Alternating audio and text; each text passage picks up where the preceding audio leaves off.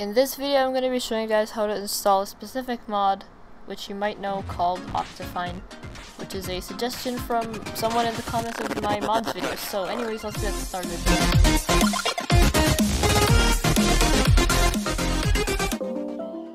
Anyway, so the first thing you want to do is you want to search up Optifine and you want to find for the version you're playing. Just as a heads up, anything over 1.12.2 will result in crashes for some reason. So stick to things 1.12.2 and under. So that's the version that I'm going to be using in this tutorial. Now you're going to see a bunch of ads pop up. Uh, don't click any of them, just wait for the skip button and then press it.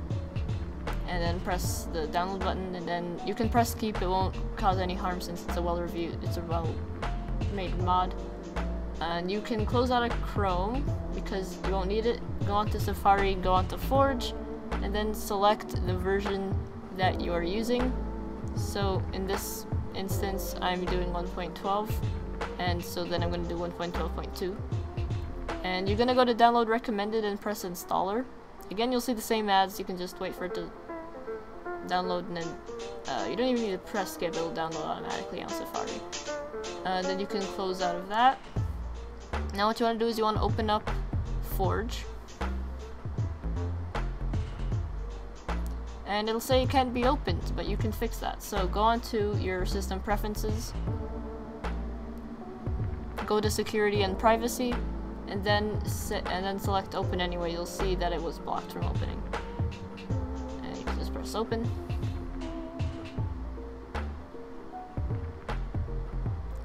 Uh, right, once you see it, just make sure it says install client, and then, uh, yeah, if, you, if it doesn't work, if it doesn't open, it means that you haven't played the vanilla version of that version. So if you're playing 1.8 mod and you haven't actually played the version 1.8, then you should probably play the vanilla first and then try and install Forge later.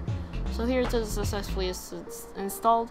So now what you want to do is you want to go to your Minecraft launcher and press on installations. Then you want to uh, just create a new like pack. You want to scroll all the way to the bottom and then find your version. So I'm doing 1.12.2 Forge, so you'll see it right there. Uh, if my audio doesn't sound synced up, it's because the audio didn't work for this file, so I have to do it manually. I just chose a logo so that I could um, find it easily. Okay, once it's selected, you can press play. Now, make sure that you have a mods option. Then you're gonna exit out of Minecraft. And then you want to go into Shift Command G and then type in this exact thing on the screen. Remember Shift Command G or alternatively uh, you can use spotlight search. And at the end you want to just put slash mods as I'm doing right now. And you'll be uh, you'll be presented with the folder. Then what you want to do is you want to drag your mod in and then just place it inside the folder. Then you can exit out. You want to go back onto Minecraft. I'm just testing this on a Hypixel server Alright, so once we're on, you can tell that it works because uh, when we press C, then it will zoom in. Sorry for the lag, by the way. Um, again, like I said, if it sounds like my audio is not matched up properly, it's because OBS didn't save my audio file. But that about wraps up the video. If you guys found it helpful, uh, then uh, please give it a like.